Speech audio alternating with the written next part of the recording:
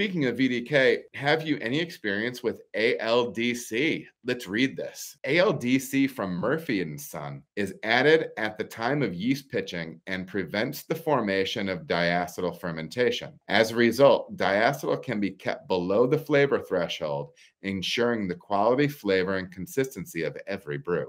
This is from uh, marketing thing. But there's some good info in here. Without the need for long maturation, tank space is increased so you can turn beers more quickly because you don't have to worry about a diacetyl rest. ALDC is an enzyme that effectively bypasses the production of diacetyl during fermentation to make acetoin, a normal fermentation byproduct which has very little flavor. If this is your first time using ALDC, use a higher dose, four to five grams per US barrel, and incrementally lower the rate with successive batches to an optimum rate. Is hop creep kicking up diacetyl? This can help, one to five grams per barrel.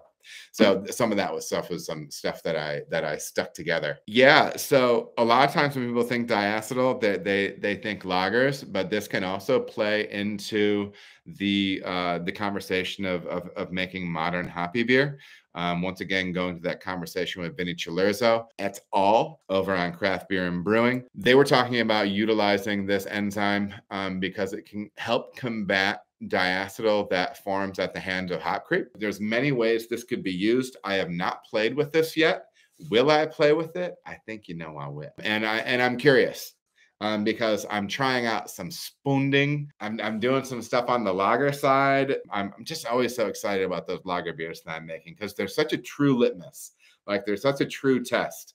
Like sometimes, like when I'm slapping around IPA and stuff, sometimes it's hard to judge when the when the flavors are so bold and everything. But when you get lean, baby, when you get lean with a little hoppy pils, it, it, it's where it's at. So if you have not checked out ALDC or you have heard about that, please drop comments uh, down uh, down below on this. I think it's interesting. I don't know if it's so much available on the homebrew side. Um, it doesn't sound like it is via the, the dosing suggestions.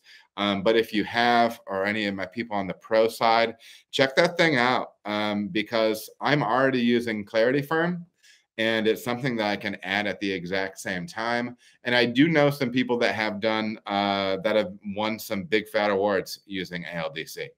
Um, so I'm, I'm, I'm not gonna I'm not gonna name names, but I know there's some some local some local people by us uh, that have done that. So uh, it, it is something worth checking out. All right, everybody, thank you so much for watching. If you feel as if you got any value out of the video, please like and subscribe. There are also other videos that you can watch. They're gonna maybe be over here or over here. Appreciate you watching.